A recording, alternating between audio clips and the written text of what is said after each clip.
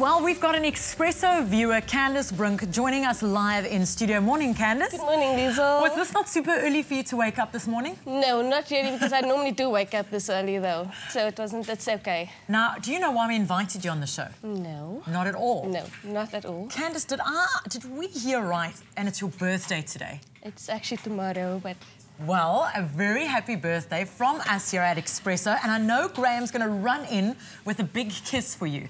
That's why we invited you to the show. That might not excite you as much As as, the prospect of these little guys. Happy birthday for tomorrow. It is great. Come move up and, and Graham can join us scoot here. Um, these so were made by the team from Love Life Cupcakes. They are for you.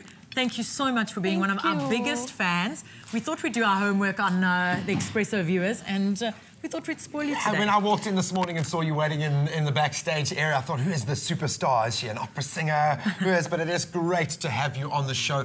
The viewer is ultimately the most important part of the show, so thank you so much for your support. And, And happy thank birthday! you. Enjoy your Thank you. birthday. Now let's get uh, you in to do something unusual for Oh, our very guest. out of character.